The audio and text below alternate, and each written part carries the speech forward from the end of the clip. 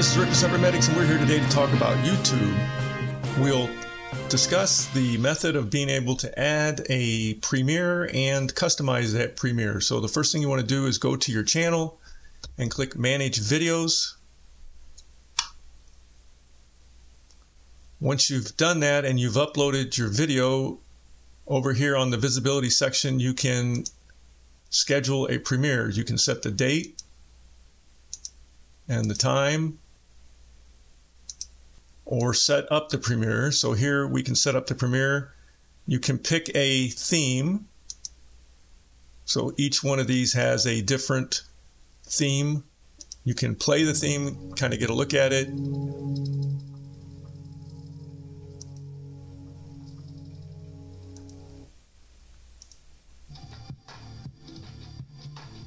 back to edit premiere, you can determine how long you want the countdown to be, anywhere from one minute to five minutes. I usually pick two minutes.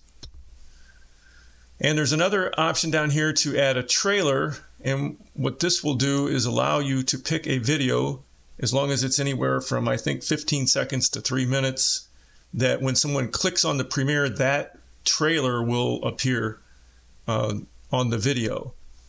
Now, I did run into a problem with the trailer, and I'll try to walk you through what the issue with that was. Um, if you let's get out of this. So this is the cancel. This is the video that I was trying to add a trailer to. Is drive is OneDrive malware, and originally I uploaded this trailer. It says is OneDrive malware trailer. Now, if you notice over here, we'll go back into the Premiere. Let's see.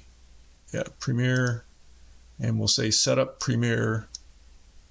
We'll come down to Trailer and say Add. And that one that just says Trailer on it is not visible. So it's not listed over here. And I couldn't really figure out why. So I did a number of tests with different videos. At first, I thought it was maybe because I reused the details of the video um, I, I wasn't sure. I used the same thumbnail. Uh, I couldn't figure it out. But really, what it came down to is the one that says trailer right here. If you notice, it, I premiered it.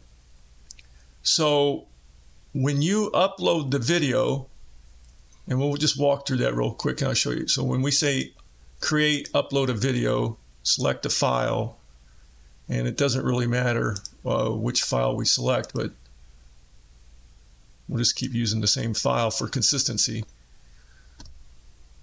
When you go through the process, video elements to checks, and you get to visibility, you have some options over here. So you can say public, okay, unlisted, or private. Now, if you select unlisted, you could use it as a trailer as long as it's under the three minutes. If you select public, you can use it for a trailer.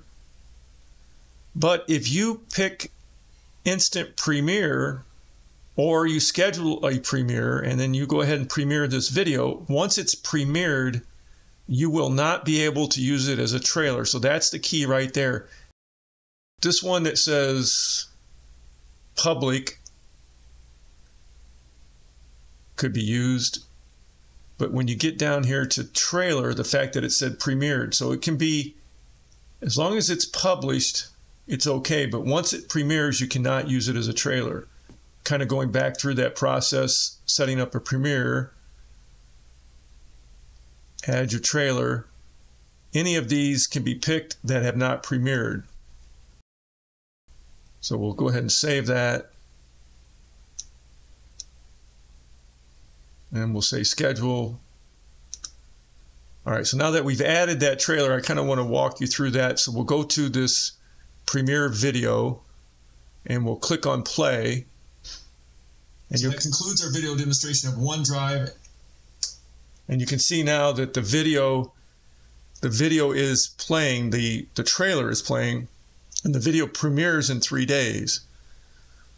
So it's kind of neat. It's a way to get your videos up you know, create a little excitement, give someone a summary of what it's going to be about. That way you generate more interest in your videos.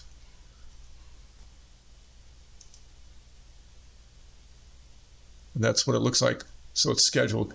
If you have any questions or comments, please post them below. I'd be interested in your use of trailers, how you have used them. Have they helped you with your channel? Any ideas or feedback on creating trailers, what you found is the most useful? Hope you will consider subscribing and have a great and wonderful automation day.